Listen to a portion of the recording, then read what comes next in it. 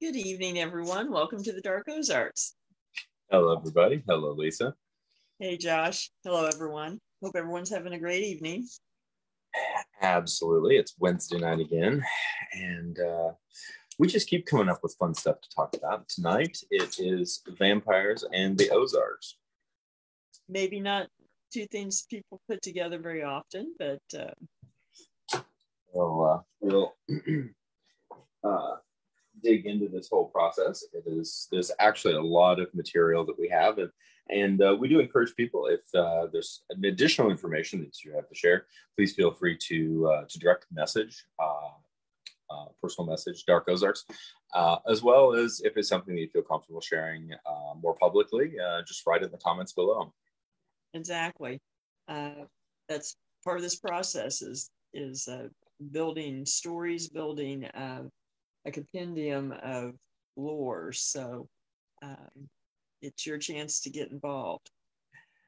And and boy howdy, there is actually a lot of lore uh, associated with all of this, and it's it's uh, both uh, historically and uh, and in contemporary settings as well. Something that uh, can be certainly was surprising to me when we first started digging into this information. Same here. I guess before we uh, really get uh, headlong into the uh, topic, we ought to stop and say, uh, shout out to our sponsor, Always Buying Books, who sponsors yes. the uh, video cast as well as the podcast, which uh, you can also catch on uh, Branson Podcast uh, Network. we are very pleased to um, be affiliated with them just over a week now, and things are going well, and numbers climbing. So uh, excited about that. Uh, always buying books in Joplin, Missouri uh, is just it, it's a phenomenal bookstore. I'm not just saying it because they sponsor us, but uh, uh, I've been a patron for years anyway, and uh, uh, just a great inventory, everything from general reading to um, really hard to find, not very high end items, and hard to find unusual nonfiction, everything, everything that a book reader can drill over. So Botanists do a great job. So they they really do. It's the the curation process is a huge chunk of the battle. Having you know, I, I'm always looking through uh, book selections anywhere I am. Mm-hmm. And a, a, lot of times it's, you know, you can you can you can typically tell pretty quickly if uh, you know how much of a curation process there is, and yeah. uh, their their process is phenomenal. Uh, there's they have a ton of titles right now that I would love to buy. I'm I'm um, pacing myself within this process, and then uh, you know, in terms of of non-curated sources, I, I, you know, a number of times in other locations, see a stack of books and be like, "Oh, this looks like it's going to be really good," and it's like 1980s um, how to cook low fat with your microwave, and uh, those are just depressing to say the least. Yeah. So, you know, uh, zip up your windsuit and uh, run, not walk, to a much better curation of books.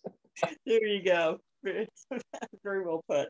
They are on uh, North Main Street in Joplin, Missouri. If you can get in there uh, in person, that's wonderful. If not, find them online at their website, alwaysbuyingbooks.com as well as on Facebook, Always Buying Books, and their affiliated uh, group, Friends Who Like uh, Always Buying Books. They put a lot of inventory up there. You can buy it. Um, and if you're not local, they can mail it to you, or you can call them and see if they have something that you are looking. Maybe they have what you've been looking for forever. So uh, check it very out. Possible. Very possible. So yeah, um, great, great sponsor. Love to be affiliated with them. And um, we have events coming up. We have quite a, quite a few events. fall is hitting fast and furious. Yes. I I have my uh, uh, my my uh, uh, pumpkin pumpkin mug out already. no pumpkin spice joke, huh? Uh, fortunately, no. Uh, black yes. coffee. Uh, not a not a pumpkin spice. I will, I'll, I'll jump on on one side as opposed to the other of this bandwagon. I'm not a pumpkin spice kind of girl. Me either. and so, in um, uh, first off on the uh, the calendar is State of the Ozarks Fest. Dark Ozarks will be there, as well as obviously State of the Ozarks at State of the Ozarks Fest, Saturday, September 17th in downtown Hollister, Missouri. Yes, and it's uh, it's going to be a good event. I mean, it, you know, uh, Josh has a hard time patting himself on the back uh, doing this, but you know, uh, you put on a wonderful event. I've been there every year, grows yes, every year. Um, I'm beginning to wonder, you know, when it's going to overflow. Uh, we'll just we'll just take over more parts of the town. Exactly. Um, but it's it's rather unique for a small town festival because of the variety of things that go on. Um, there's a lot of different kinds of entertainment, uh, you know, music, um, uh, trade, you know, uh, artisans uh, doing demonstrations, there's uh, Civil War reenactors, there's medieval combat, there's good food, um, and just various things that um, you don't usually see in all in one spot. So, you know, hands off, you do a great job, Josh. Thank you. It's, uh, it really, I, I really enjoy um, curating an event that brings very diverse uh, elements of the Ozarks together in one place and it's uh, it really is a uh, the outcome of my my day job as editor in chief. I and for stories, I'm always looking for very interesting, uh, unique groups of people doing interesting, unique things.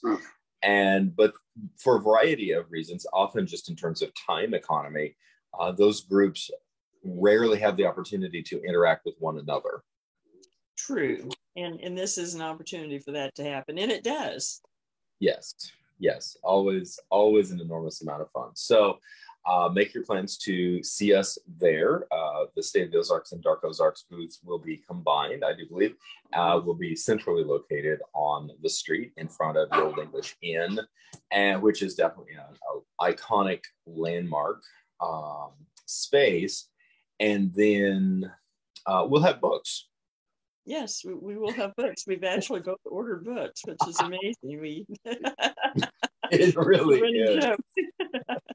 it really is. I'm very excited about that. For people that don't know, uh, we have books, uh, books yes. that we've written. I mean, we have a lot of books that we haven't written, but we also have books that we have. Exactly. so come check them out. And then the following week on the 24th of September, we will be in Caney, Kansas, actually in the little Ozarks, uh, Kansas, it's called, and for the Bordertown Paracon, where we'll both be presenting uh, on various topics. And um, uh, it's put on by SEK Bordertown Paranormal, which is um, a wonderful group, and it's a, it's a really good event. I've presented before. Um, and we've worked with them. Um, and uh, it's going to be a lot of fun. Uh, so check it out. It's a free event. Go to the SEK Bordertown Paranormal page on Facebook and uh, find out details, or um, we'll post again, but we have it on our page as well. Uh, and then we'll be back in Hollister on October 7th. Yes, in conjunction with the uh, State of the Ozarks hosted First Friday Art Walk of October, uh, we will be bringing the uh, the haunted uh, historic walking tour back to Hollister, uh, including a tour of the Old English Inn, which is quite haunted. Yes, and and it's something that we've done over the years, um, and then we haven't over the last couple of years between various things, including a certain, you know, national event that kind of threw things off. But um, yeah. So glad to get back there. Tickets are available at paranormalsciencelab.com. Uh, tickets are, are already selling through, so uh, grab yours so space doesn't uh, run out. Yes, then, and uh-huh. oh, as I say, it's uh, it's going to be a great opportunity. Uh, a lot of history, uh, folklore, uh, mm-hmm. storytelling, and um, cosplay.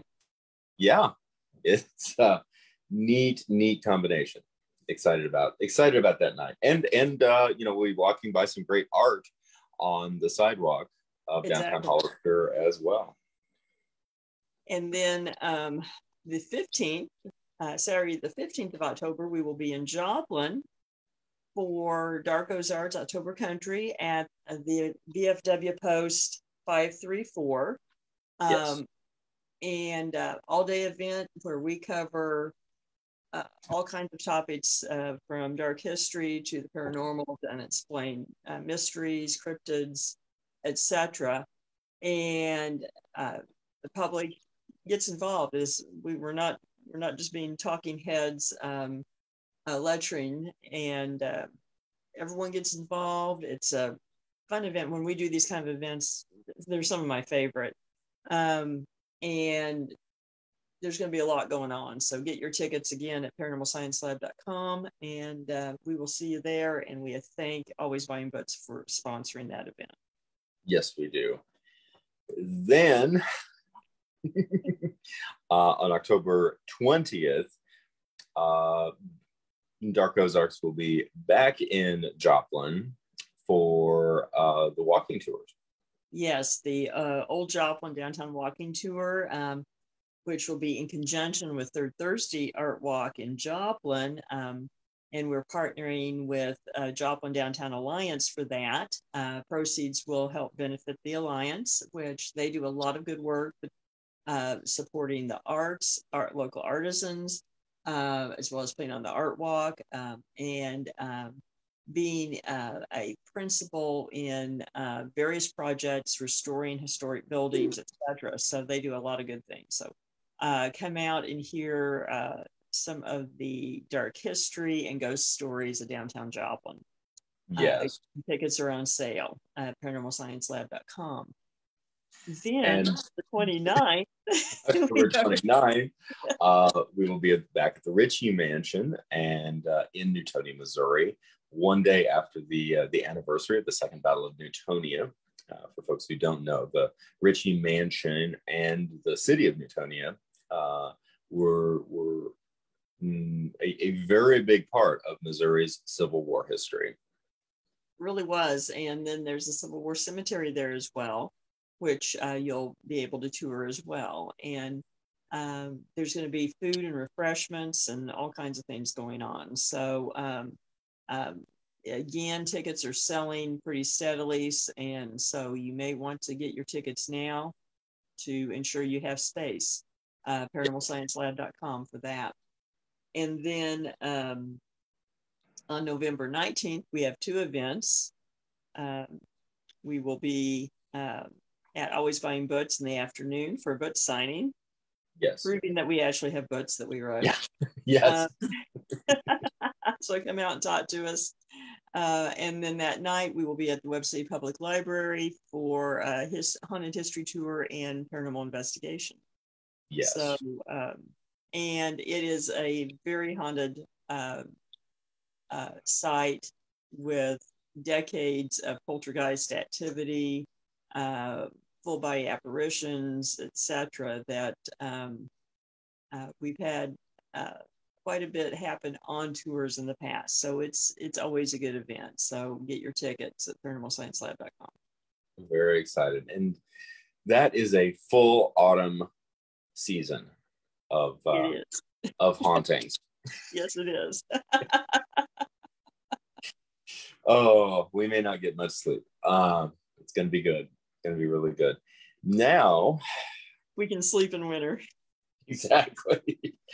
Oh, on to our onto our topic: uh, vampires and the Ozarks. where do you want to start?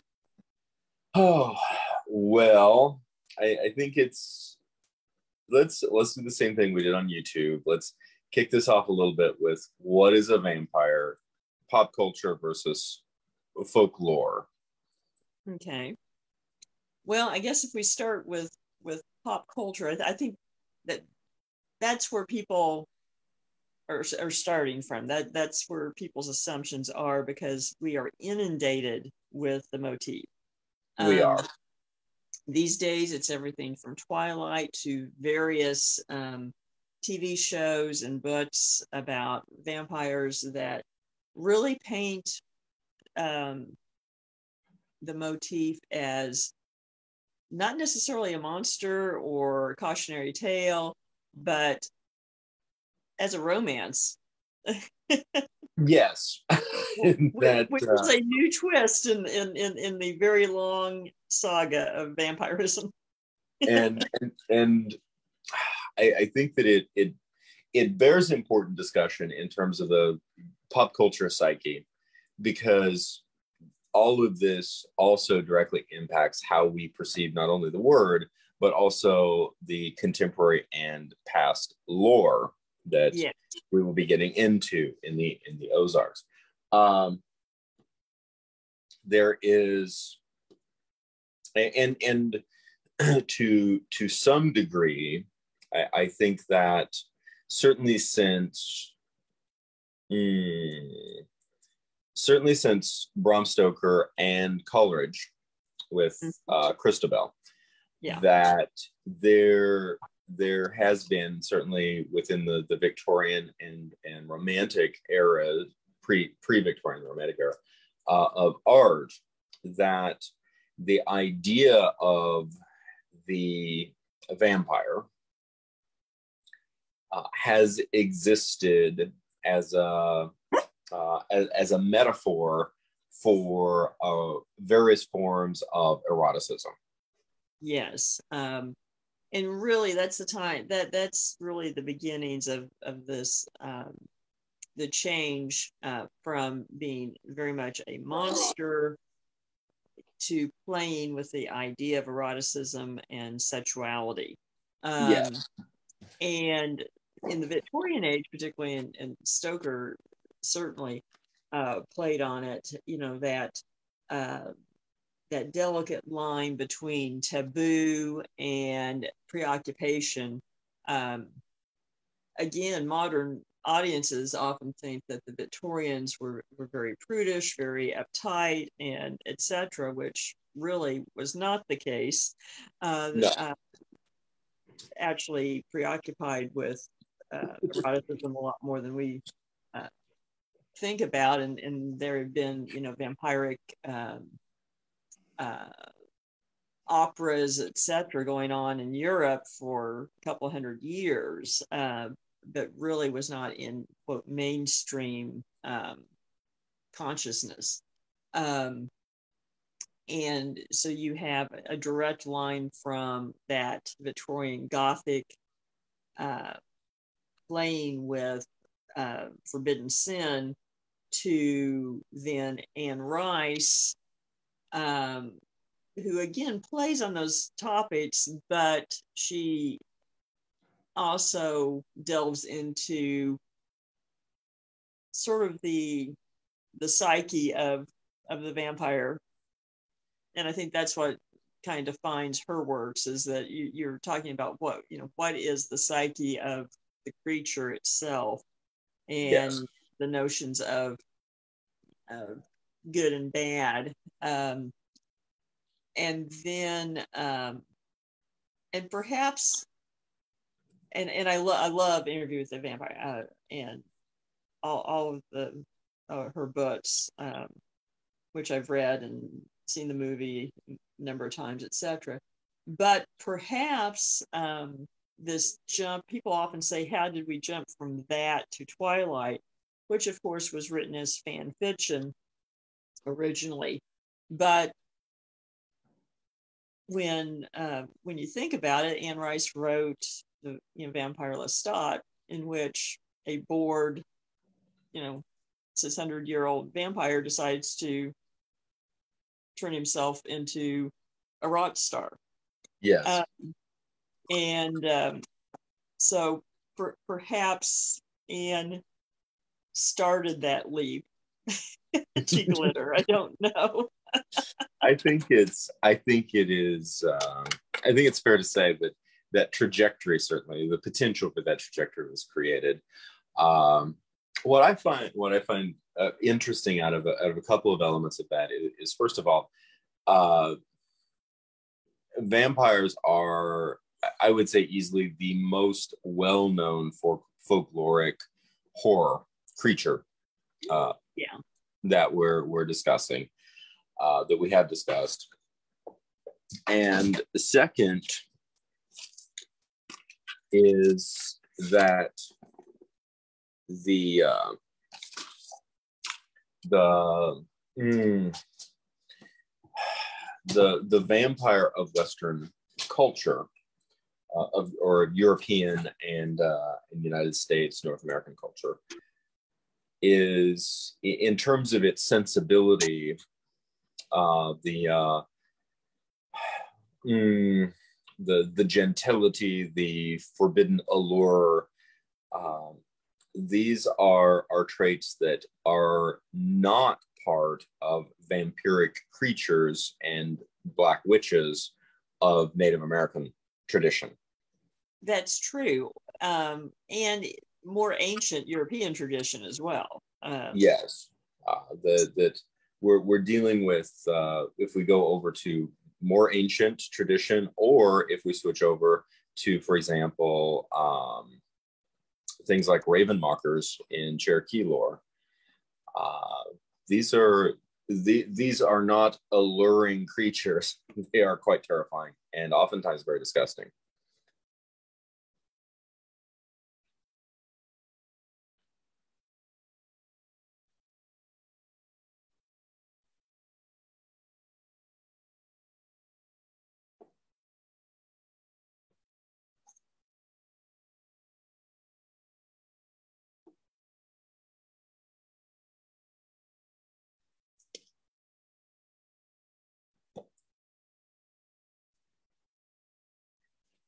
Working on it, Josh. Okay.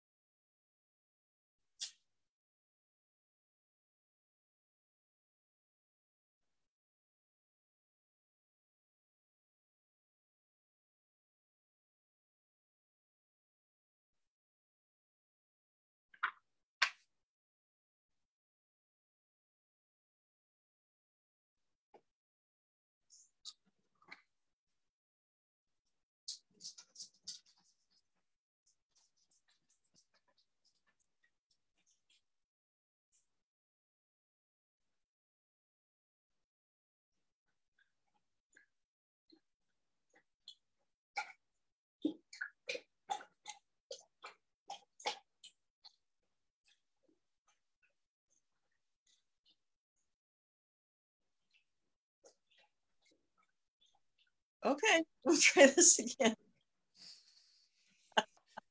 um, phase two. I don't know. it's just. so where? Okay, so where were we before we were uh, interrupted? um, uh, um, oh, uh, pop culture implications, sort of the the the the, the unconscious psychological baggage, and yeah. the allure, and and Rice.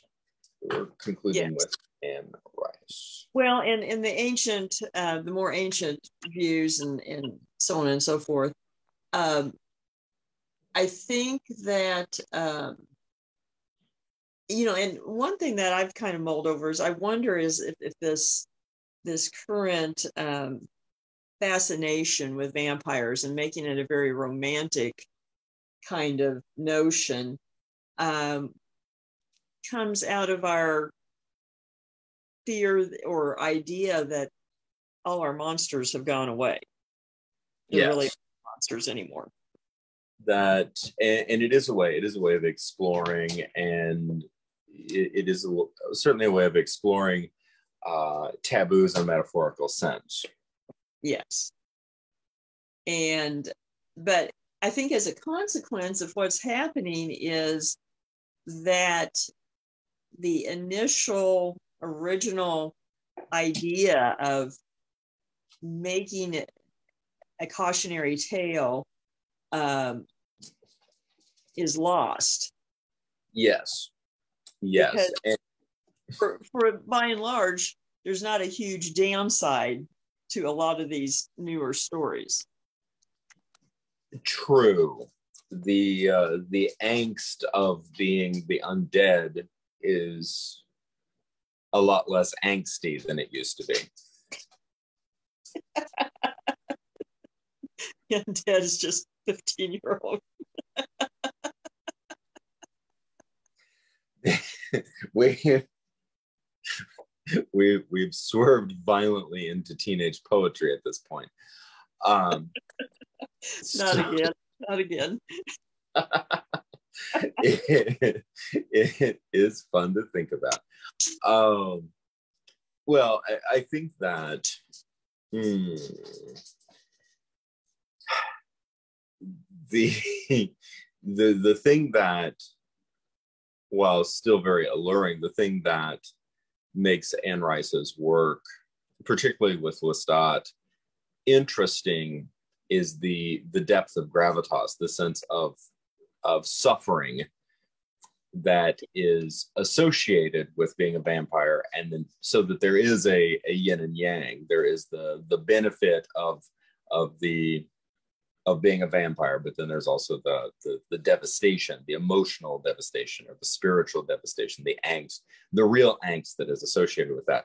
I, I yeah. think that as as succeeding layers of fan fiction have been built upon that, and then translated through popular culture, uh, the gravitas of of being the undead has been l- mostly sanded down, and so you're you're left with the uh, you're, you're left with the glitter.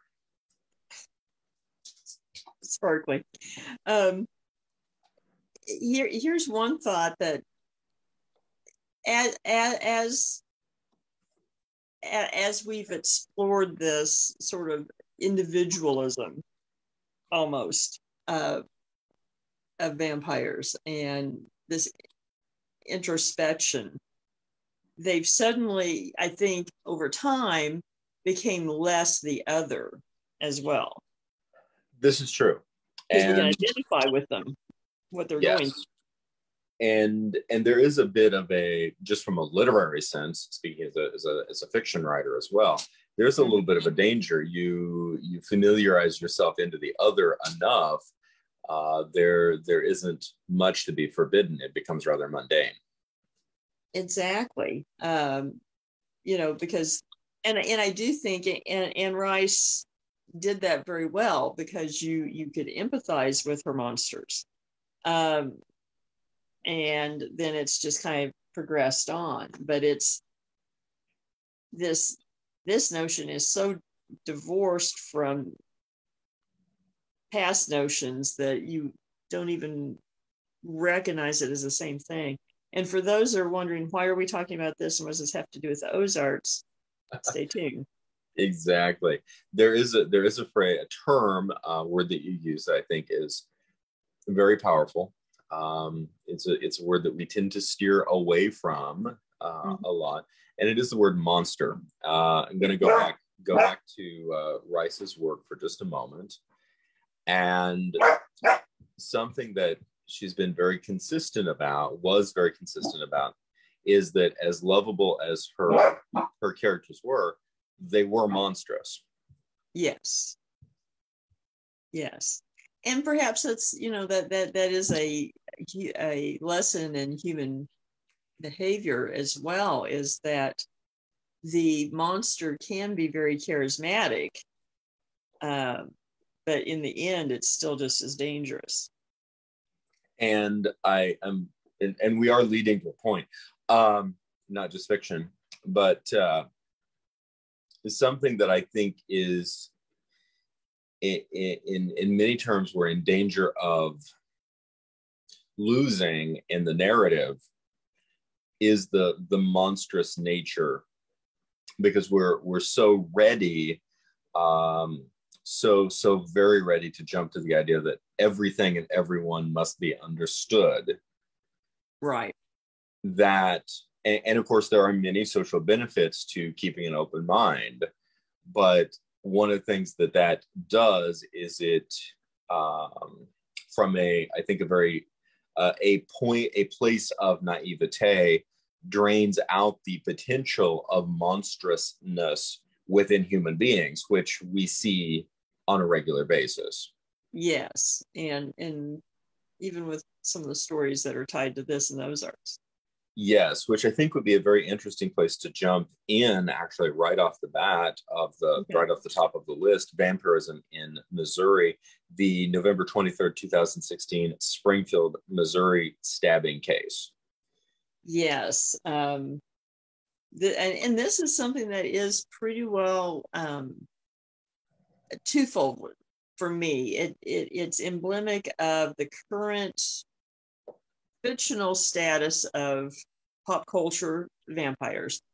And yes. then also something that um, some people may not be as familiar with, but uh, particularly about the 1990s and early 2000s, vampire culture um, across the United States. Um, people may be rather surprised that there were a number of uh, covens, cults, whatever you'd want to say, that practiced some form of blood sharing and yes. uh, vampirism.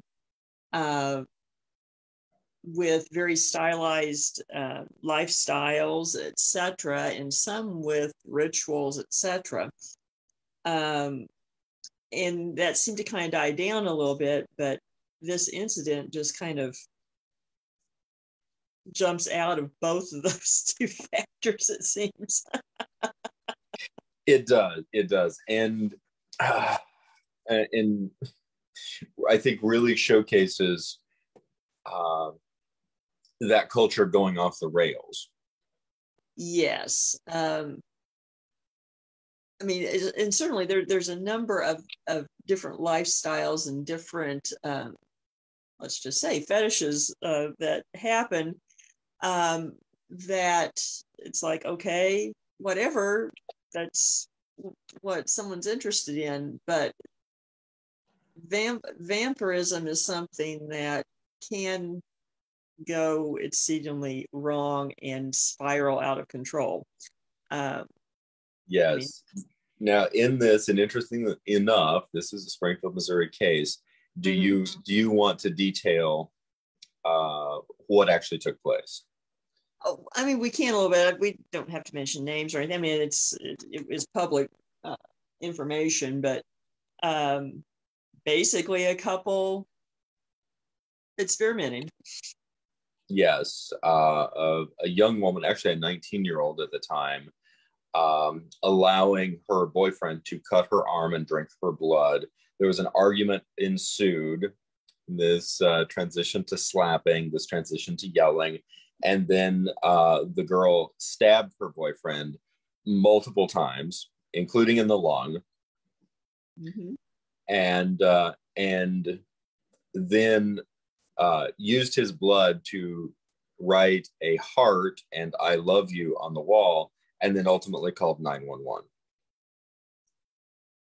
And in in that scene, just kind of takes a lot of those elements out of everything we just talked about from some of the fictional current fictional trends. Um, it does. It does. Full of, full of contradictions, let's just say. it, it is, and it's it's obviously it's not something that would be funny if you were there, and certainly not funny if you walked in on that scene. Um, yeah.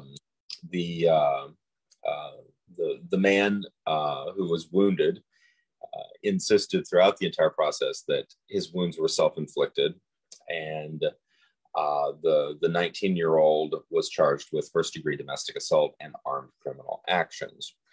Mm-hmm. So Twilight very much gone wrong in this particular yes. case. Yes. And but it also points out something, and I think this is probably the the next point to to jump into uh, well, let me let me just kick off with this quote I, I found really interesting. Uh, the time. Let me see here. The page is over. This is a long way from the Stachini. Um, that um, uh, actually from a from a uh, first historian in Cosmopolitan saying mm-hmm. that uh, public fascination, this pretty much mm, just repeats what you already said. Um, but public fascination with vampires is nothing new. But in the 1990s, vampires enjoyed a revival spurred in part by the success of Bram Stoker's Dracula in 1992 and Interview with a Vampire in 1994. By the time Jennifer Wolfe examined the vampire subculture in New York City, vampirism could be found in cities across the country cosplay, sex, blood drinking, and occasionally deeds far darker well, are, we're all part of Cosmo's investigation of the eerie erotic world of real life vampires. So I, I, think first of all, I think it's it is very interesting. There are there is a subculture of quote unquote real life vampires, individuals who engage in uh, ritualistic fetish and role play of inspired by uh, pop culture and sometimes more ritualistic lore associated with vampires. And so there, there, I think that, that it's fair to say that within this culture, there is a, a gradient or a gamut ranging um, from cosplay, which mm-hmm. is, is I, I, don't cosplay as a vampire, but I do cosplay. Mm-hmm. Uh, all the way to uh, some really dark uh, ritualistic practices. Yes, and and and in fact, in the nineties, there there was a, there was a journalist who was, um, and I, her name escapes me uh, at the moment. She was investigating uh, the vampire culture in New York City, and she disappeared, and they mm. never found her, um, as as far as I ever knew. Um, so it could it could get very dangerous, and what um, actually a lot of people may be surprised that um, there were several sort of centers of this culture, New York City being one, New Orleans being another, and surprisingly, for a lot of people, Springfield, Missouri being being one. Yes, and I think that would be a really interesting place to to go to next. Uh, local, uh, particularly local Southwest Missourians, who have an interest in the, the esoteric and the visceral are already familiar with the vampire tunnels, quote unquote, yeah. of Springfield, Missouri. And and I will say that that actually, you know, that that uh, that um, lore, that that culture group predates the 1990s in Springfield. Um, uh, I know it, it was going strong in the in the 1980s, and and actually there are some stories of, of vampire culture uh, in Springfield going back to the 1890s. Interesting. I you know, I want uh, to dig into that. There was a there was a reference in our in our notes um, that I, I, found I found just interesting in its yin yang qualities.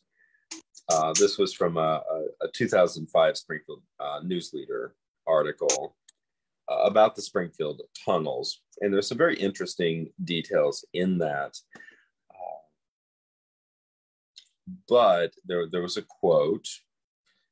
Um, this was I, I take that back 2014 uh, but the quote from this uh, 2014 article says if you believe a 2007 news leader story, which I don't, there was a group of young vampires hanging out of these catacombs under the Queen City back then. And uh, the Springfield Tunnels article, which is online, takes a very tongue in cheek approach mm-hmm. to uh, really every aspect of the Springfield tunnels. And and you know that that's one and and this is something I wanted to talk about specifically because uh, and we've seen this with different stories, whether real or urban legend, in the Ozarks of of uh, certain stories, uh, real events or real phenomena, kind of being lost, and people starting to think that it was made up, just like this. We've seen that yes. like we've seen that actually with Billy Cook, that Billy Cook really did not exist. He was not a serial killer. He, it was just a story. Um, um, and the thing of it is, is from, you know, I've had contact, lived in Springfield off and on for years. And the vamp the tunnels and the vampire culture was well known when I was in college. Um,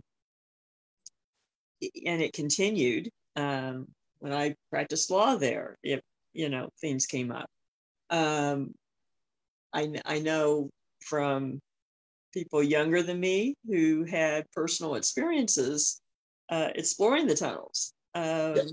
in, in, the early you know 2010s. Um, so this is something that you know has gone on for decades, and I find it ironic in 2014, oh, we don't believe this was happening in 20, you know, 2007. And I, I know personal accounts that yes, it was. Yes. Um, in, in fact, in fact, people exploring and trying to document it and being chased, um, mm-hmm. stumbling upon uh, ritualistic uh, gatherings. And, um, and then of course, um, uh, to say that you know it, nothing ever happened it kind of divorces itself entirely then from the very real events of the cheryl feeney murder case. It does. And i i i do find this particularly interesting. I'm going to just addendum on this and then we'll move on to the feeney case that in so many cases, particularly in the in the Greene County, Springfield area, uh, we're we're oftentimes asked to talk about uh, urban legends, the albino farm being the most prominent, and it's a situation in which we we are consistently having to burst people's bubble and say, guys, it's an urban legend. It yeah. It it really we don't have the kind of uh, of um, you know detail that it, it's not there. It is it is something that folks made up. But thanks for thanks for asking. Thanks for playing.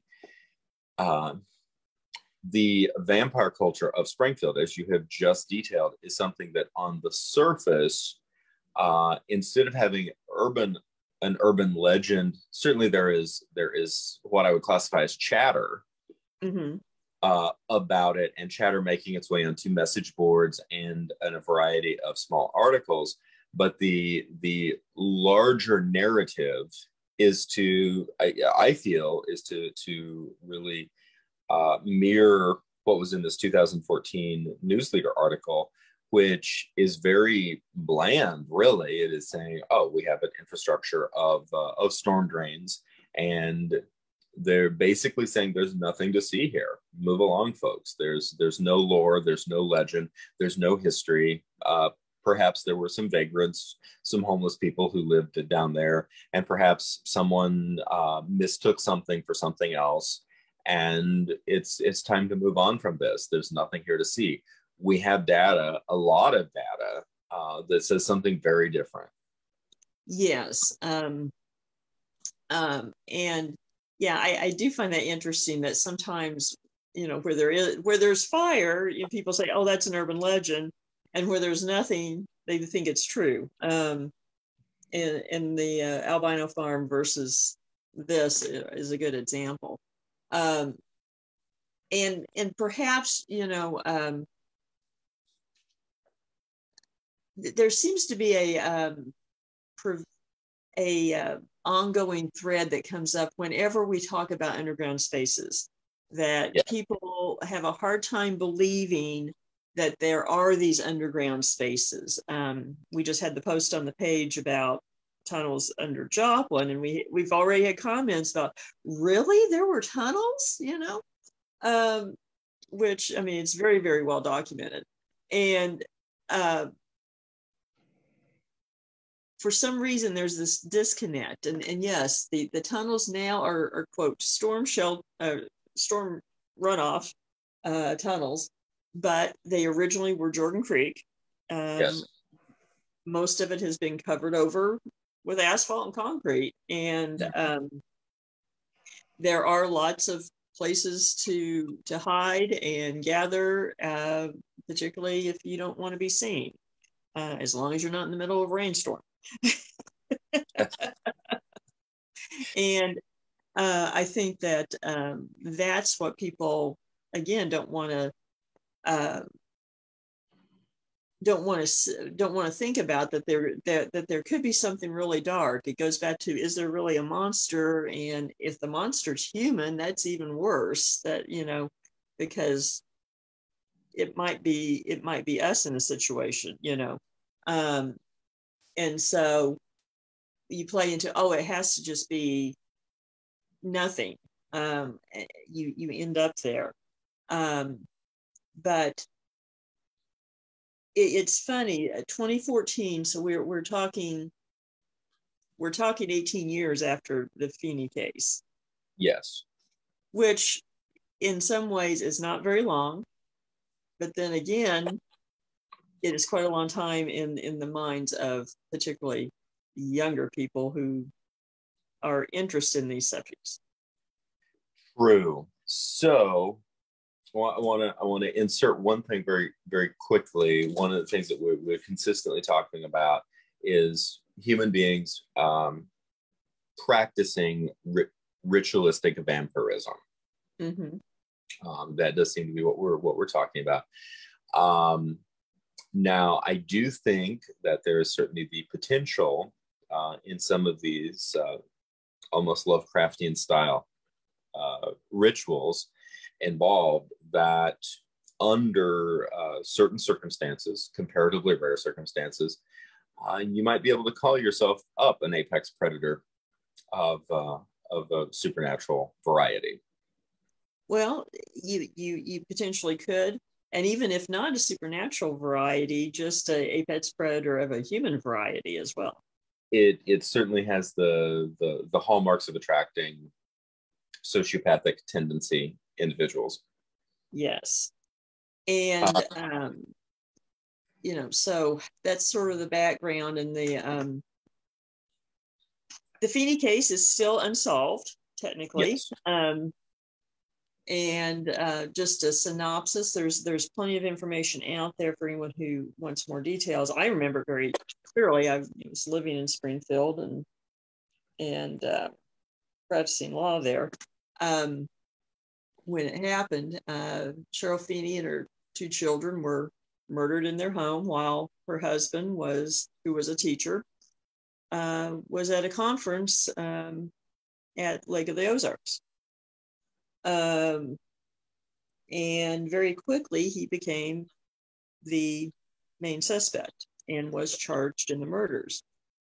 Uh, in the course of all this, it ended up that um, uh, coming out that he was involved in the Springfield vampire community. Um, some people discounted that, some people took it to heart. Um, and um, ultimately, uh, so, some of the evidence at the crime scene would indicate uh, more of a ritualistic nature of the murders. Um, marks on the neck, certain things written in blood, etc. Um, and uh, ultimately, after a very in-depth, long trial, um, you know, he was not found guilty, although the jury later was polled, and I'm going to be very candid, the jury was polled, and every single juror believed he was guilty, but that there was not enough physical evidence to convict him. Mm. So, um, you know, on one hand, you can say, as an attorney, you know, uh, on one hand, you can say, well, the jury didn't just become inflamed by their passions that they believed he was guilty and just convicted him uh, completely on circumstantial evidence.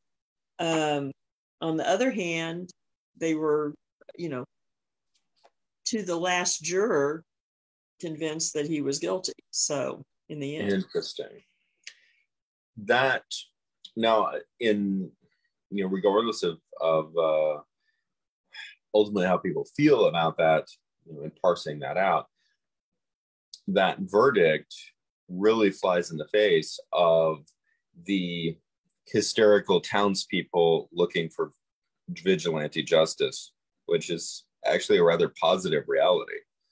It, it is. I mean, it's it's one of those, and, and to be perfectly honest, in, in at the moment, it was kind of surprising because there there was it, it was a very emotionally heightened case, um, and a lot of people were kind of surprised that of the acquittal uh, because of that that mentality that that energy in the air, almost like you said, uh, pitchforks and flames almost. Um, and uh, but I can tell you, and, and this and this is in, in published as well um, in some of the sources that we reviewed. Um, defense counsel, it it it it, affected Sean, uh, and he left the practice of law for a number of years afterwards and mm-hmm. and uh, actually became a candy maker quite successfully. Um, yeah.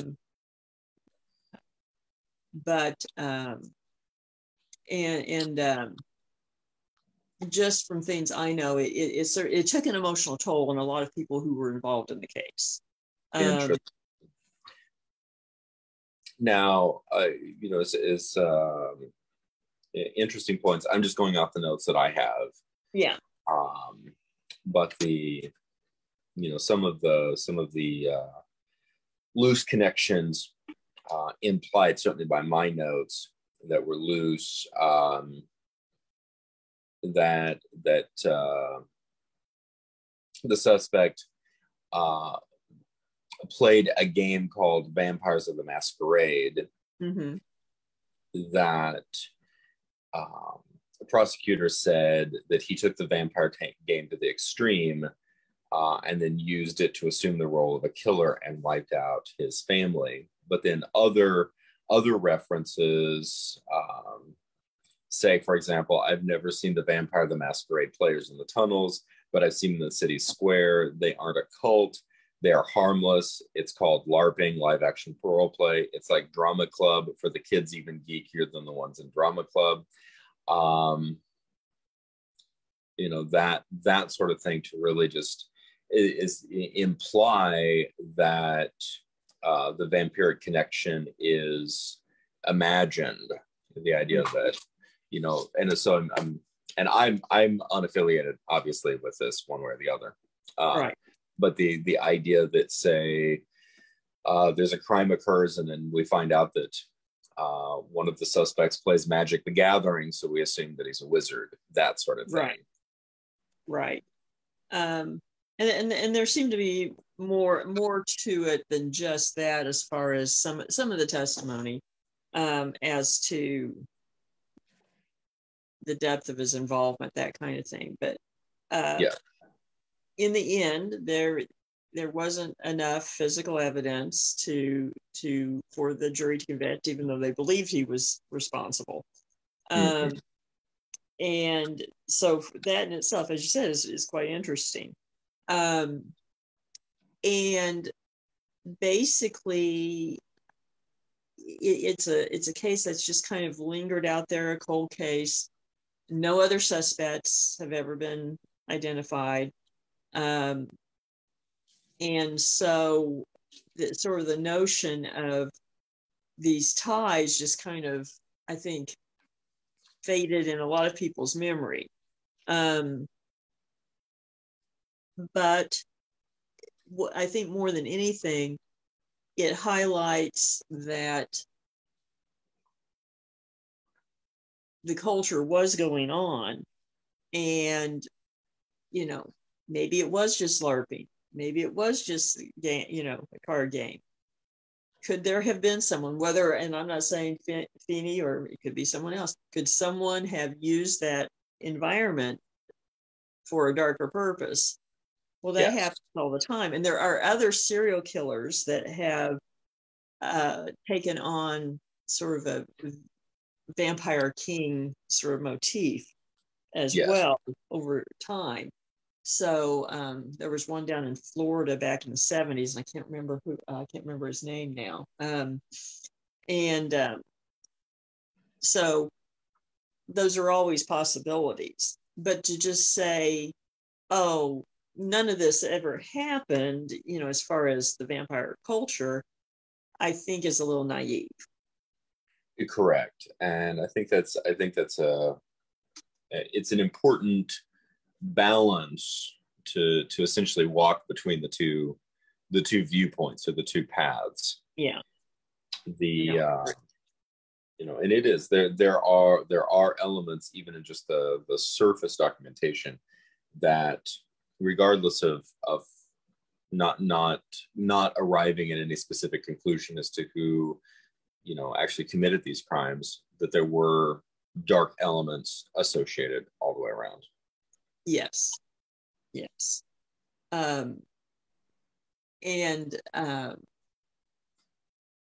and i think it's one of those things that perhaps that 2014 article uh, kind of indirectly points to that you know, we don't want to acknowledge that anything like this could be in our midst. Mm-hmm. It is. It is uncomfortable. It's something that uh, I think is is an interesting tightrope to walk. Is the the monstrous othering as opposed to the self monster. Exactly. Exactly it's it's very uncomfortable to arrive at the conclusion that the the horrific could be staring back at us in the mirror exactly and i and i do think that is a recurring theme uh, with vampire lore through time. However the vampire is dressed and packaged. Yes it, it is. And and sometimes speaking to an othering and sometimes speaking to a self um, what is what is interesting is that when when you have have so erased the the monstrous from the other and then embrace what is in essence a a folklorically monstrous um, persona, mm-hmm. but done so somewhat, if not wholly, blithe to the reality of one's own darkness. Exactly.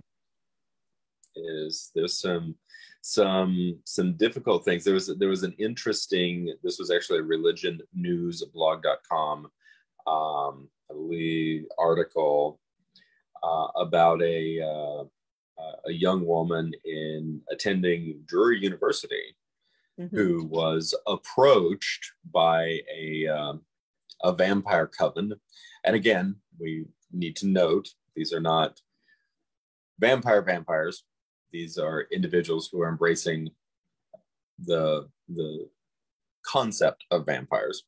Yes. Um, and uh, basically um, pulled her into this coven, and uh, she uh, fully embraced it to the mm, uh, detriment of a variety of things, and apparently including her grades. Yeah. Well, and I, th- I, th- I, think it's, you know, again, sort of that thrill of, of taboo and uh,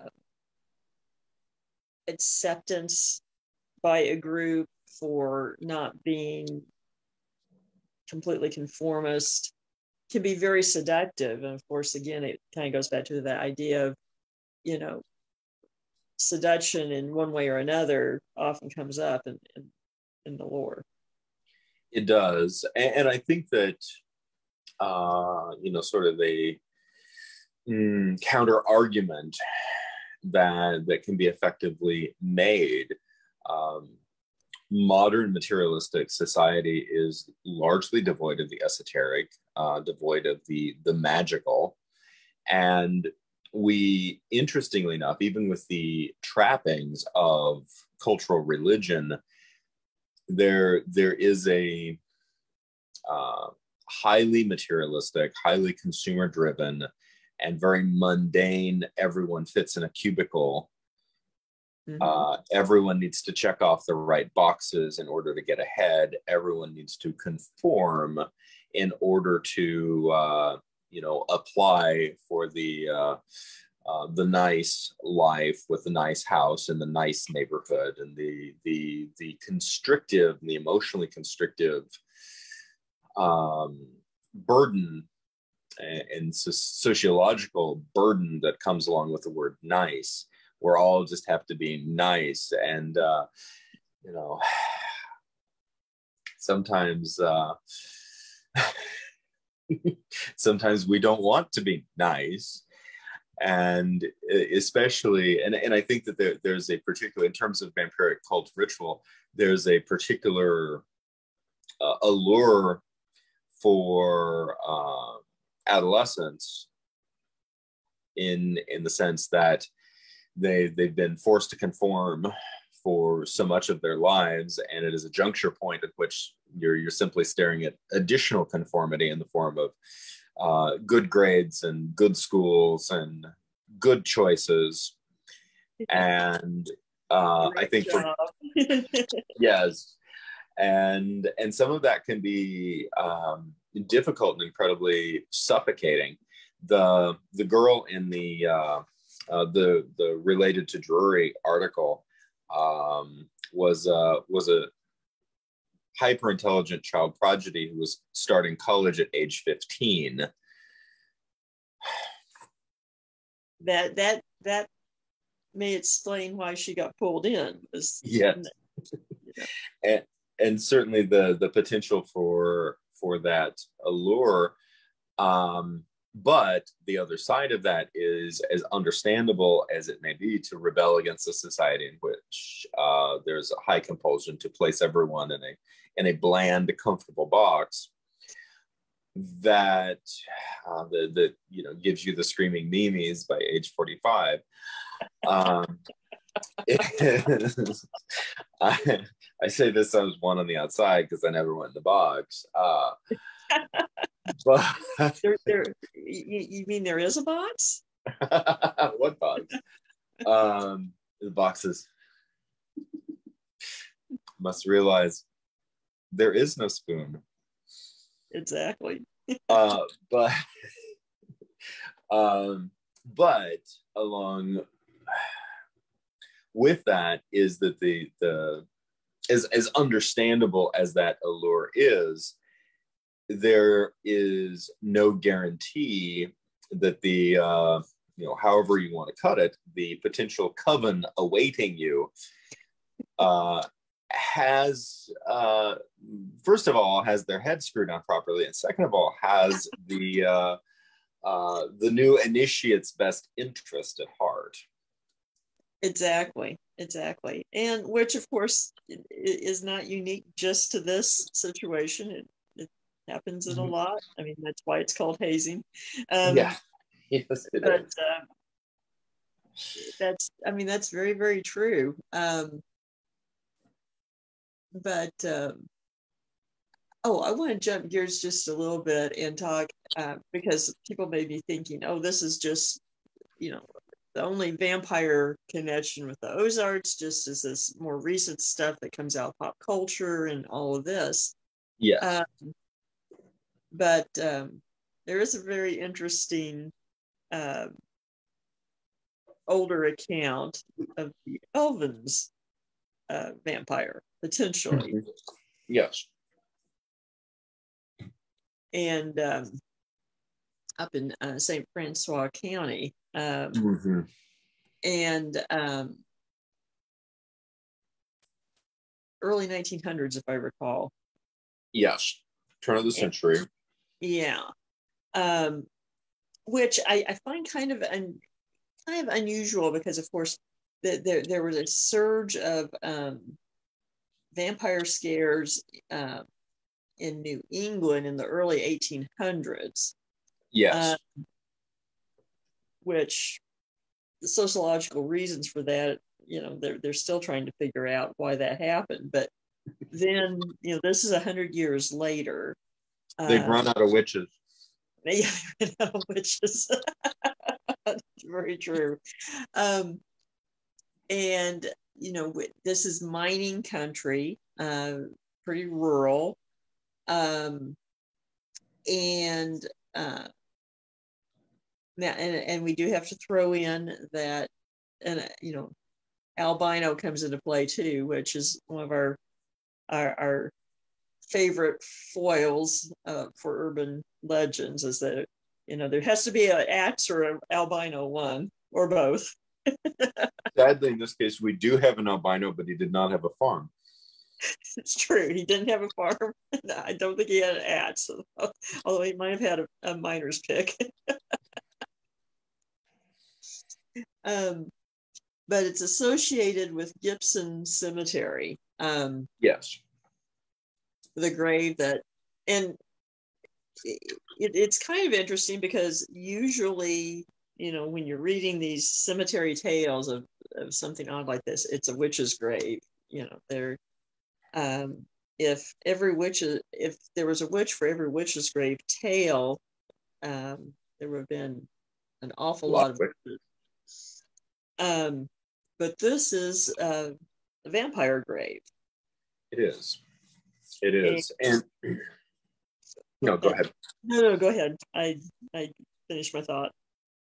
Oh, it, it's you know the the Elvins Vampire Grave, uh, Elvins, Missouri, which was uh, reincorporated with a number of small town in the immediate area. Now Park Hills, Missouri, and St. Francois Mining, uh, St. Francois County, uh, not very far from Farmington.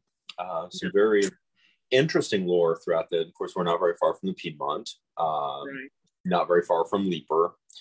Uh, lots of lots of Civil War uh, history there in the eastern Ozarks, south of St. Louis, mm-hmm. and the the mm, the the folkloric aspect of it. There's definitely so I think yin and yang. There's a very very uh, opposing opposing forces, certainly within the the folklore mm-hmm. of um, you know a interestingly enough, a, a, a Eastern European immigrant, uh, mm-hmm. a Hungarian man who apparently was an albino, uh, yes. uh, who worked as a miner. He really, really was an albino in this instance. Yes, yes. and uh, um, I'm I'm at this juncture, I'm assuming that he was not the inspiration for Miner 49er in uh, Scooby Doo, 1969. uh, classic original Scooby Doo. The, Although there was an albino in in the Ozark Witch episode. Interesting. He he, Interesting. he, he pushed the canoe. He pushed the well the flatboat through the swamp. I, I really need to revisit this episode. Yeah. Uh yes. Um you, you so, will not recognize the Ozarks in it, but fair. there is, is albino, a... uh, basically Pullman on yes. the boat. So you know, you, you take your you take your your your intersections with reality where you can get them, and basically, uh, he is described as cruel or evil. Mm-hmm. And there are a number of mysterious childhood deaths that mm-hmm. take place and then the townspeople and then uh, the the the miner doesn't go out during the day. He is only out and about during the night. And then the townspeople rise up and murder him. And then there are no more mysterious childhood deaths. So simple problem simple solution. So, there, so in this case, we really do have the village mob with the pitchforks and at least according to the legend. And yeah now um, and then they they bury him in um, in the Gibson Cemetery, mm-hmm. and I find this interesting. There, there's there's a couple of somewhat um, opposing references online. One say that they buried him surrounded by the graves of the children who had died. Uh, another one says that simply that there are a number, perhaps a, a per capita concerning number of uh, childhood ch- children's graves within the cemetery. The cemetery has uh, led apparently um, over 300 graves in it, which is pretty substantial for a rural small rural cemetery. Right. And so uh, the the surrounded by seems a little bit of uh, perhaps a push. I haven't actually been to go look and document me either. So I don't know. I can't, I don't know the layout of the graves. Now, another interesting little tidbit is right in Park Hills as well. There is a smallpox cemetery, mm. um, which is called the smallpox cemetery. That's what it's even called. Um, from smallpox uh, epidemics, including up into the early 1900s. So to be perfectly honest, my guess is a lot of these child deaths were probably related to smallpox or other epidemics. Yes. Now the and I think that it's it's very interesting to approach this this entire situation from very open mind, entertaining highly opposing conclusions. I do too. Uh, the and and uh, you know I'm going to reference the uh, the cemetery in Newtonia there's a there's a handful of uh, of uh, graves in Newtonia which have uh, the the wrought iron fence enclosures, mm-hmm. and that uh, I think there's there's a variety of things that those enclosures denote. Um, the the least of which during the time of their construction was it's going to keep them in. Yeah. well, I mean, you know, um, of course, there's various lore about different substances, you know, that, you know, un- unclean spirits or, you know, abominations can't cross this or that. Mm-hmm. Uh, and, uh,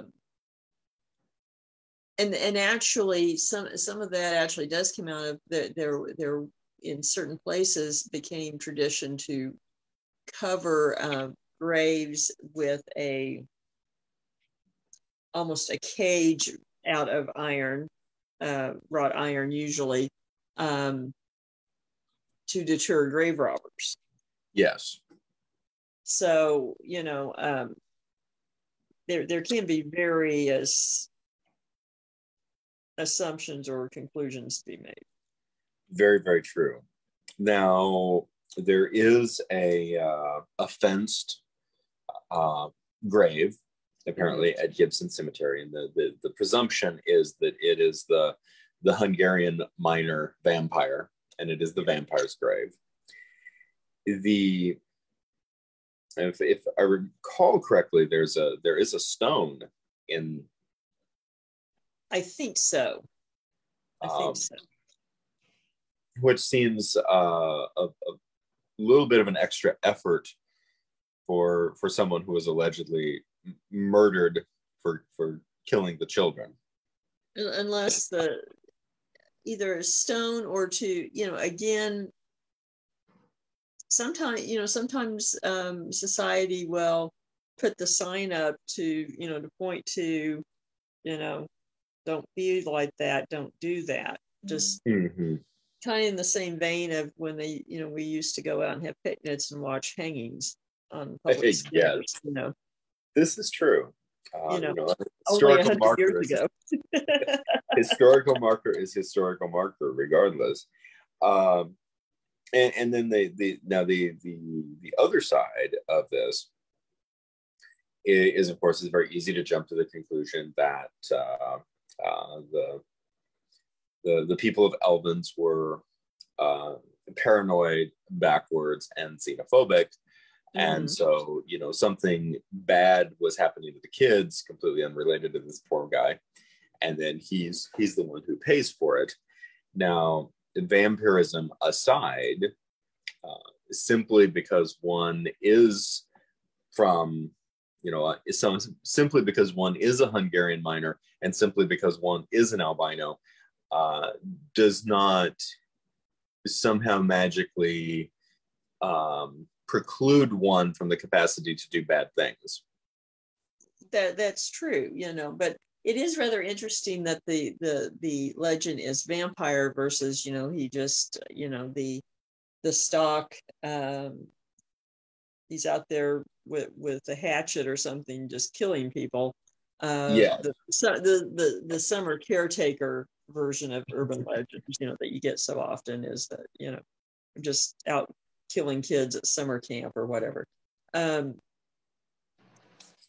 you know so whether it's because he was Hungarian or the albinoism or um, something made people come up with vampire though. It did. Now I'm gonna play devil's advocate again on this. Okay. And let's say something darkly mischievous was afoot. Uh, mm-hmm. Uh, the implication is the children were dying, but were dying in mysterious ways. Right. Uh, which would, would imply that there was not a, a way to trace the deaths back to a suspect. True, or, you know, sometimes, you know, um, unusual bleeding or something, you know, or during decomposition, you know, particularly. Uh, yes. If there was a delay, you know, in, in those days, if there was a delay in, in burial, sometimes just the natural processes uh, that the body goes through often would lead to accusations of vampirism. Um, yeah.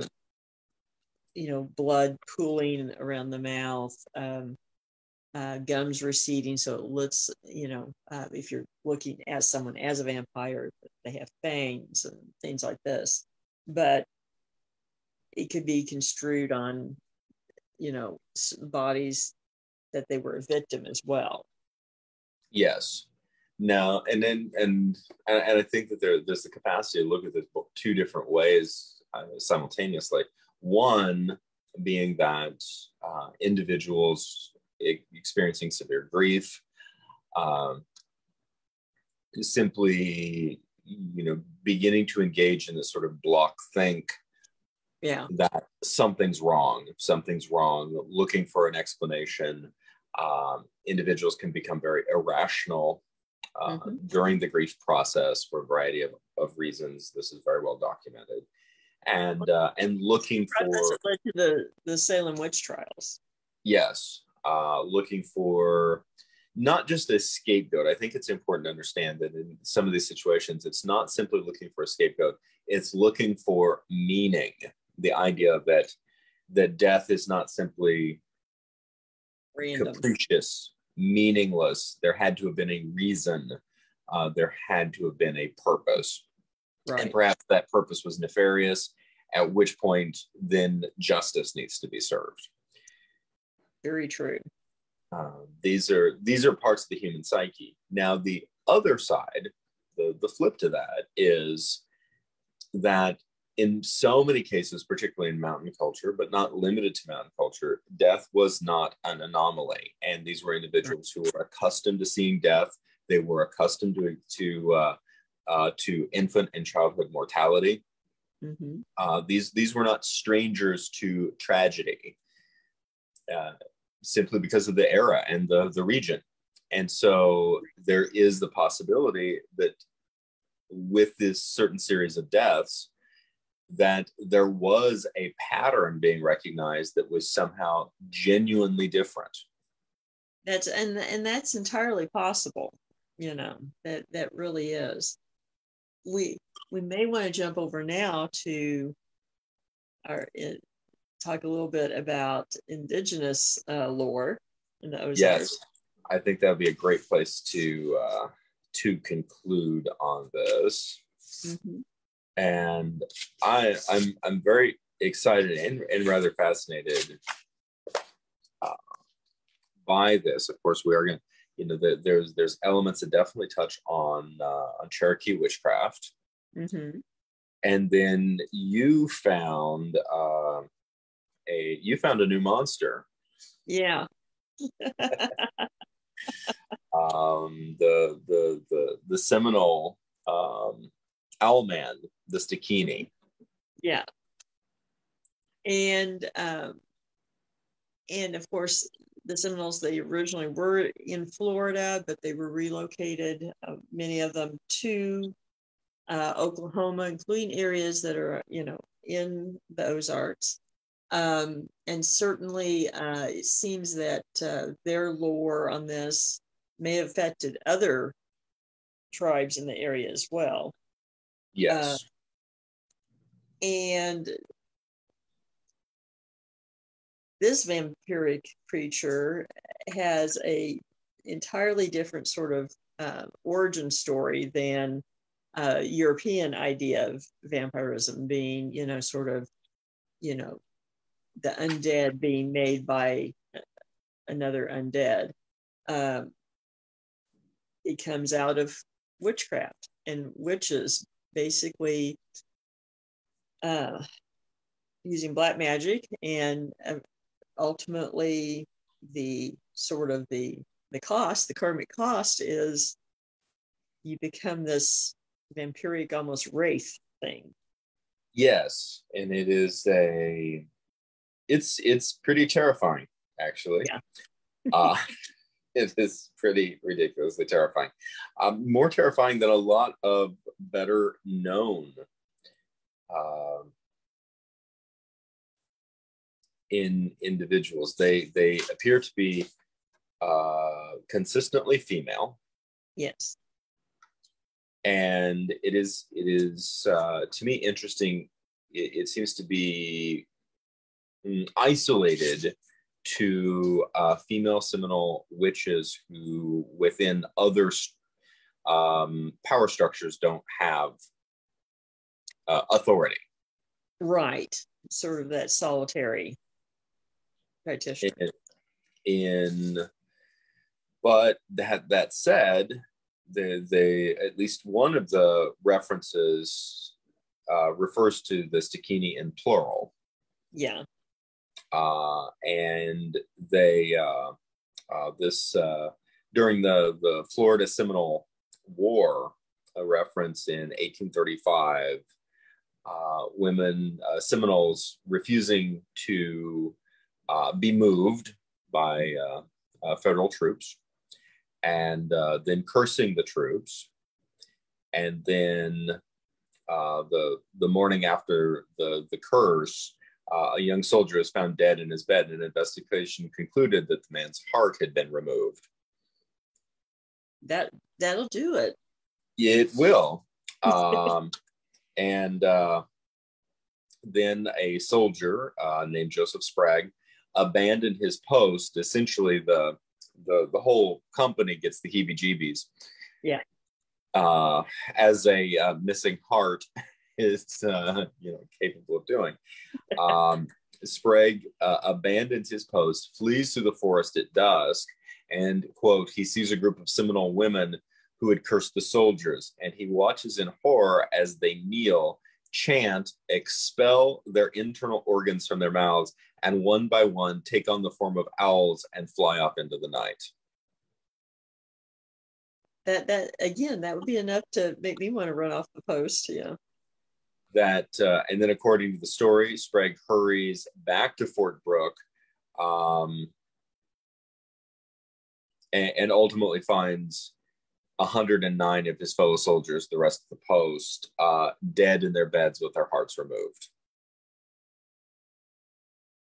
It's brutal. Yes, it is. Um, the the suggestion uh, or the the reference, and I do find this interesting. The the according to this reference, which is uh, from Tripping on Legends, um, the the myth or the mythology surrounding the Dade massacre that uh, the Stikini call upon a goddess named She Who Walks the Circle. And uh, it began that, that this goddess originally began as a mortal, uh, but abused her powers and became a cursed deity. Mm-hmm. And I also find it it interesting that there's there's certainly a, a an almost cross reference to harpies mm-hmm. in this. There are other um, uh, legends that that have similar tones. That, uh, but one of the things that actually jumps to mind, and, and for people who, if you didn't catch it, uh, the Stikini vomit out their internal organs onto the ground before turning into owls. And then when they come back to their innards uh, they eat them and then mm-hmm. transform back into into humans. A, a little different transformation than werewolves. It is and the uh, the idea that their internal organs they hide somewhere Mm-hmm. Now there is a to me there's a, a, unique reference there to selkies. Selkies coming out on land hiding their seal skins. That's true. I hadn't thought about that. That's that that is true, and it, it is interesting that you know that uh, it's um this the, the deity is sort of akin to being undead, but was once human. Was once human, and the um the the other thing that it, to me is striking, and this is more in the corporeal realm, but uh, owls uh, ingest their prey whole and then vomit them back up for their children or their their their hatchlings. Yes, that that is true. That is true. So I can see, you know, if if if the creature's doing this, the comparison with owls even if they were not literally changing. Um, and you know, um, there is in Oklahoma uh, just lore with a lot of the native tribes about owls, particularly seen during the day. That it's bad luck if you see an owl during the day. Um, yes. Which makes you wonder if it kind of goes back to this this lore. It, it does. I, I something I, I'm consistently intrigued by uh, the the it, it's it's uh, mm, textural interpretation of supernatural beings in mm-hmm. in Native American lore that I really like in the sense that it is so ridiculously confusing for somebody like me who's you know of European settlement descent. Uh, that that it is you know even and, and, i would i would say that uh you know mm, 1500 years of uh, dogmatic European Catholicism certainly has uh, you know its its talons into the into the psyche, and that that Catholicism certainly uh, in you know having been inherit you know having inherited a lot of the the the structure and cubes and grids of the Roman Empire, the idea that everything fits into a, a pre-specified box. With uh, with uh, you know post Renaissance or you know early modern era post Renaissance to post Renaissance creatures of European folklore. So almost everything got at least domesticated enough to stick inside a box. True, that's a good way of putting that. Uh, and, and and Native American lore does not, and so you're you're presented with this dizzying array of things which do not fit in boxes, and exactly, or at least the same boxes. yes, um, and, and that's you know it's in you know dealing with, for example, Cherokee witchcraft is it's okay to kill a witch because a witch isn't a human being, but right. a witch looks like a human being, and I had an aunt once who was a witch, uh, and she's dead. And we're going to go visit a grave, but nobody else wants to visit a grave. I am referencing a book, guys. I'm not just going off the seat of my pants. Um, a, a, very excellent anthropological work. Um, but the idea that, but if you if you killed a witch, um, you didn't kill a human being, but they look like a human being, they act like a human being. And I talked to one, and it was a human being, but when it's a witch, it's not. Yeah. And a European mindset says, well, pick one. And a, more traditional, um, and I think realistically, a more sophisticated uh, mindset says, no, I don't have to because they don't either. Exactly. And and if you go back further in time in European traditions, there was more of that mindset. Yes, um, I, I, to me, a, a, really powerful turning point, probably a sad turning point, in which the uh, uh, the great folkloric beasts and beings of uh, of Europe got placed in a zoo, is the the mid 19th century publication of a compendium of of fairies, in which uh, all of your documentable Norse, Germanic, Irish, Anglo-Saxon, um, and Celtic um, fairies. Essentially, is it a is it a pixie? Is it a is it a is it a fairy? Is it an elf? Is it a goblin? Is it a sprite? Is it a brownie? Is it a dwarf? Is it a troll?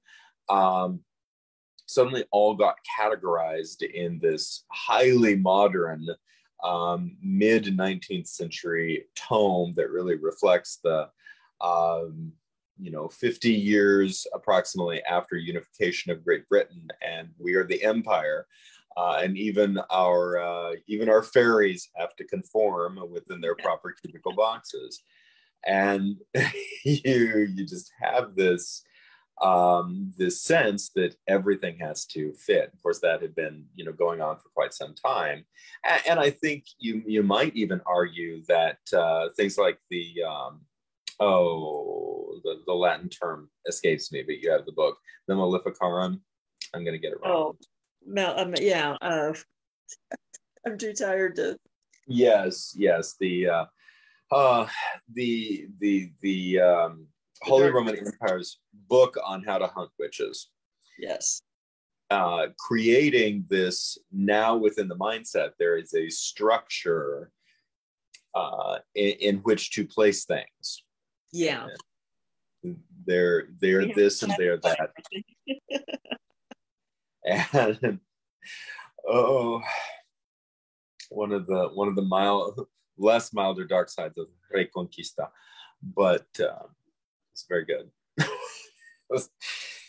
and I, I, think it's, but I think it's very powerful. And it, for to, to be able to sort of begin the process of resetting our expectation, and something that when individuals do experience, for example, the paranormal or the the esoteric or the weird, simply that they're they're having an experience that it, it's particularly unsettling because it doesn't fit in the box.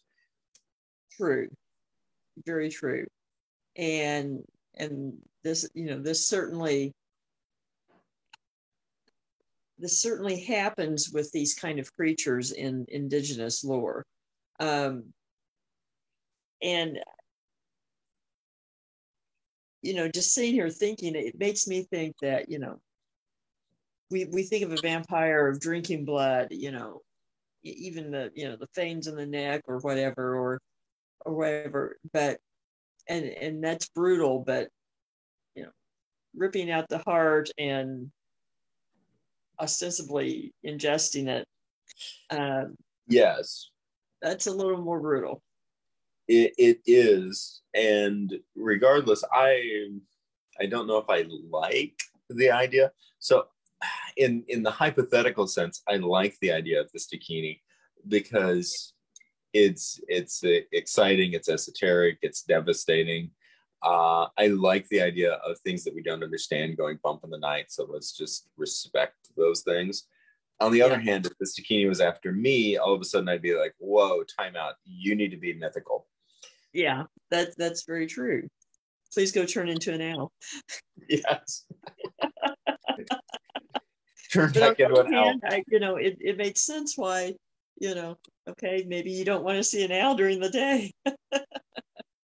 it it definitely and especially i think growing up with those uh those motifs now in the idea that that based on our uh perhaps childhood and growing up experiences our our idea of what initiates revulsion can really be shaped by that you look at uh yeah. you know the you know so for example me growing up i i i love owls um I do too, though. I, yeah.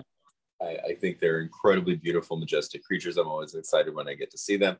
I enjoy hearing them. Um, I actually have a number of owl art inspired pieces around the house, so on mm-hmm. and mm. so forth. And I just think that they're these majestic birds uh, that are that are that are very cool. There are, of course, many reports of people of a different heritage responding with fear or revulsion uh, yeah. at the at the hearing of an owl, the the sighting of an owl, particularly an owl out of place in the daylight, that sort of thing. Right. Um, I don't, you know, I don't have that. Uh, however, I did grow up inert within a, a Judeo-Christian structure, and uh, you know, I have a very immediate visceral response to almost any time that I see a snake. So there you go. Throw that out there we can't we can't escape what we were raised in. Huh? I don't. At, at least um, uh, it it it exists as our subconscious reality. It does. It does affect things. Um, but but again, um, uh, maybe I'll take the European va- vampire if I have to choose. As long as they don't sparkle, I'm good. Yeah, same here. that might be a good place to to end tonight. To close up for tonight, we appreciate everyone. Please like, share, subscribe, and um, you know, share your comments, share your ideas, share your thoughts. If you've experienced a vampire, uh, you may be entitled to compensation, but not from us. no, but we'd like to hear the story. yes, we would. so everyone have a good week and we'll be back next Wednesday. Absolutely. Thank you all. Thank you, Lisa. And thank you, Alex. Thanks, guys. Thanks, everyone.